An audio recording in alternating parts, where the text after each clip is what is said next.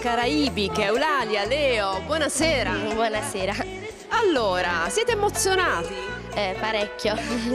Siete diventati campioni italiani all'inizio del mese di dicembre, dove siete stati? Abbiamo fatto la prima tappa di Coppa Italia a Pescara e abbiamo guadagnato il primo posto per la combinata cubana e secondo per la portoricana.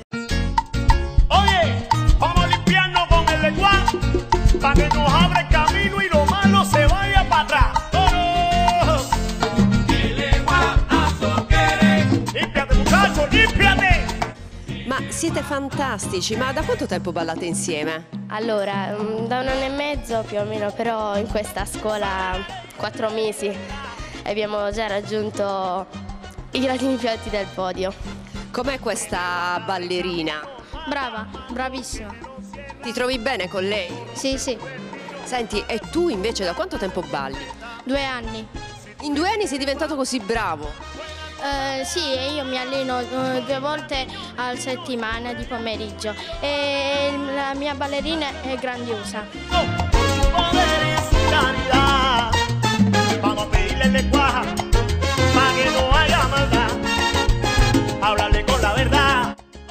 Ti ha definita grandiosa. Beh, anche lui è molto bravo, siamo una bella coppia di ballo. Quanti anni avevi quando hai iniziato i tuoi primi passi?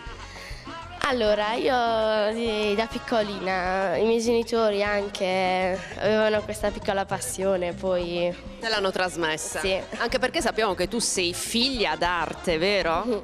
sì. Il tuo papà è un grandissimo musicista, il maestro Leonardo Lo Zuppone. Lo vuoi salutare? Sì, ciao papà. Quali sono le danze che più vi piacciono? Allora, ci piace molto la salsa cubana, la baciata, il merengue. E tu in quale sei più bravo? La salsa cubana. E mi piace tanto il merengue. Qual è il vostro obiettivo? Dove volete arrivare? Allora, noi puntiamo al gradino più alto, poi speriamo che un giorno il nostro sogno si diventi realtà, cioè quello di aprire magari una scuola di ballo. Ma se siete così bravi è merito dei vostri maestri.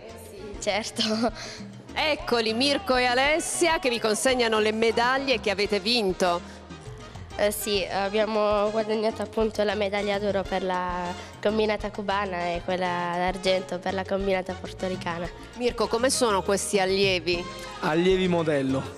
Hanno tanto da imparare sicuramente, però c'è tanto impegno sia da parte loro che da parte dei genitori e noi gli, gli auguriamo un grande in bocca al lupo per il futuro. Alessia, ma è possibile che dei ragazzi così piccoli abbiano tutta questa passione?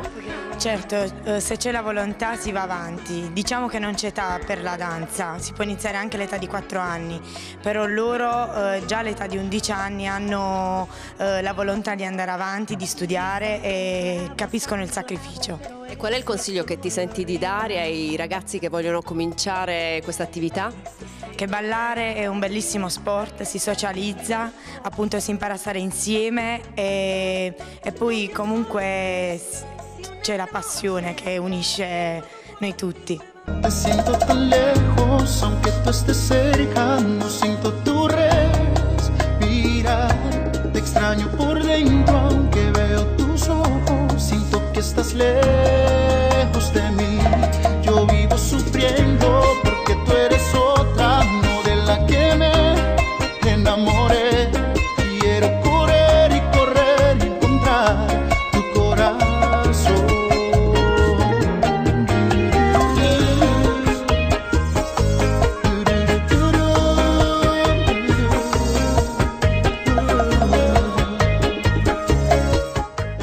siete campioni.